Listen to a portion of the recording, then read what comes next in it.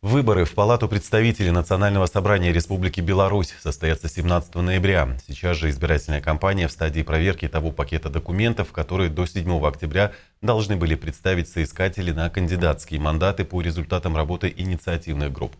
Согласно данным Гродненской областной избирательной комиссии, всего в регионе 77 человек претендуют на возможность побороться за места в Палате представителей. С 8 октября и по 17 октября включительно должна пройти регистрация кандидатов в депутаты.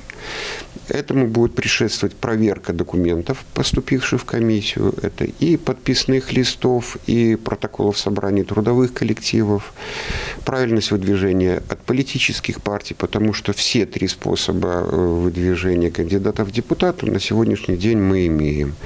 К слову, проверка предстоит серьезная. С особым пристрастием комиссия изучает декларацию о доходах и достоверность подписей в случае, если выдвижение кандидатов происходило путем сбора подписей. В Гродненской области работает 13 окружных комиссий, 4 из них в Гродно. 669 участковых комиссий. Уже в ближайшие дни для них начнется фаза активной работы. В Гродненской областной избирательной комиссии рассказали, что социальный и профессиональный срез соискателей кандидатских мандатов очень разнообразный. Среди 77 человек есть представители разных профессий и сфер – здравоохранение, служащие, представители сельскохозяйственной отрасли, мужчины и женщины. И уже после регистрации всех соискателей в качестве кандидатов начнется этап агитации.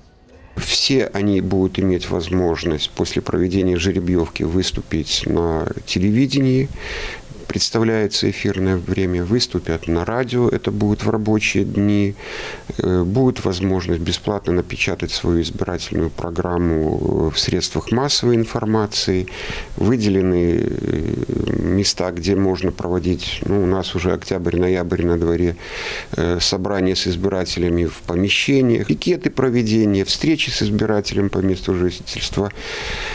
Ну и э, очень хотелось бы, чтобы кандидаты в депутаты избиратели побаловали теледебатами, потому что такая возможность им представляется.